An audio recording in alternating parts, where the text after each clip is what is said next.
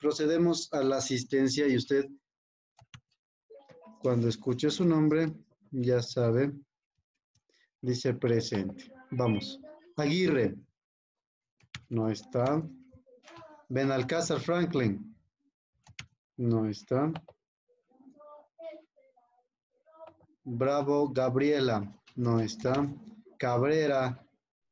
No está. Cañizares. No está. Chipantiza. No está. Coque.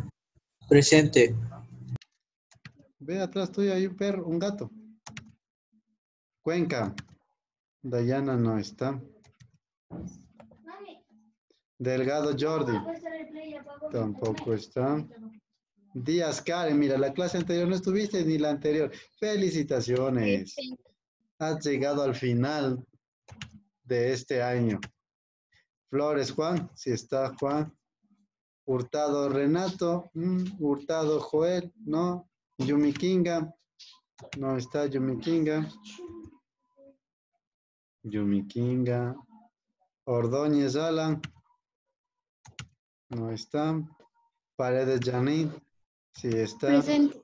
Ramírez Jordi, no está ya. Ramírez Jordi. Eliana Chugulí, primerita como siempre. Bradley Telenchano, sí está.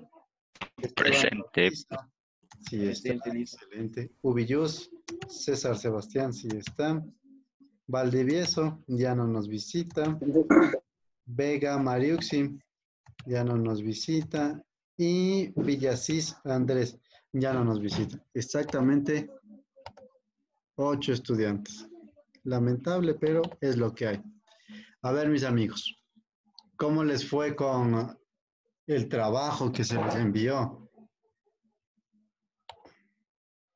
Todo claro, todo simple.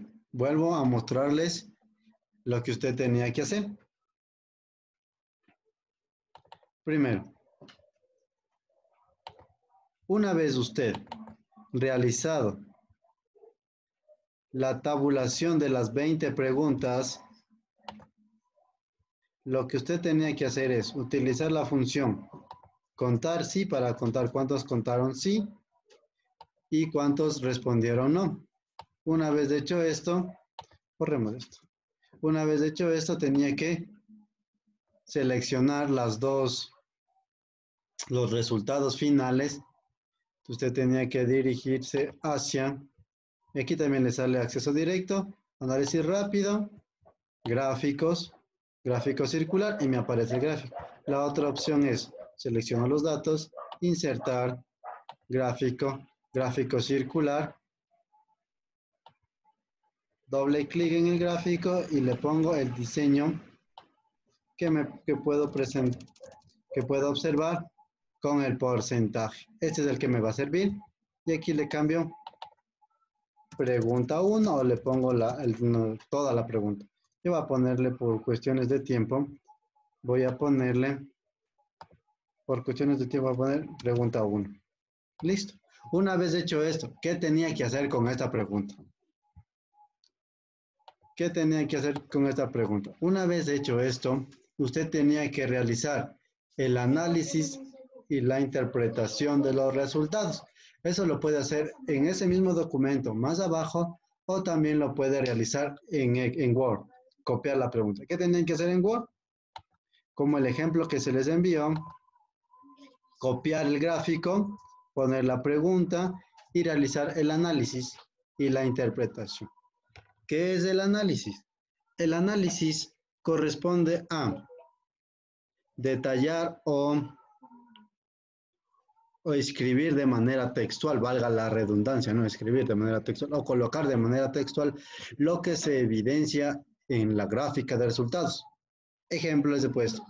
En la pregunta número uno se puede observar que el 80% de las personas tiene acceso a Internet en su hogar coma, también se evidencia que el 20% de las personas encuestadas no tiene acceso a Internet desde su hogar. Punto. Ese es el análisis. Ahora la interpretación. La interpretación corresponde a, de manera textual, como usted está observando la pregunta. ¿Y qué es lo que usted observa en la pregunta? Por ejemplo, les puse aquí, las personas que tienen acceso a Internet desde su hogar es mayor al porcentaje de personas que no tienen acceso. Simple, sencillo, con respecto a mi pregunta que yo había puesto. También se les colocó unas frases que pueden utilizar para iniciar el análisis de la pregunta. Por ejemplo, aquí, en la pregunta número uno, se observa que, también puede poner, en la pregunta número uno se evidencia que, puede poner, en la pregunta número uno se encontró que, el porcentaje y el resto de la pregunta. Súper sencillo. Yo les he dejado este pequeño aporte para que ustedes puedan realizar las, el análisis y la interpretación. Cuando usted tiene datos como en mi tabla, en mi tabla sí, para una persona puede haber puesto uno, uno y aquí dos, dos y aquí uno. Estos son datos dispersos, datos dispersos.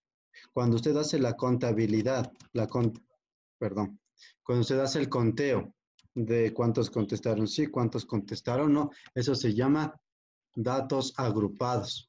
Los datos agrupados, de los datos agrupados se sacan las estadísticas para saber cuántos contestaron sí, cuántos contestaron no a las diferentes preguntas. Eso ya les, cuando nos piden adjuntar lo que hemos hecho en cuanto al proyecto en TICS, lo que usted tiene que hacer es adjuntar las tablas, adjuntar los gráficos, el análisis y el resultado que ya le hemos hecho. ¿Listo?